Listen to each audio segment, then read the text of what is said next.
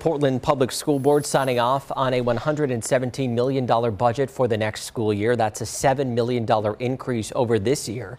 And that means the school portion of a tax bill for the average Portland homeowner will go up by about $150 a year, $146 to be exact. The budget would expand pre-K and also add social workers. It now goes to the city council for a vote there next month.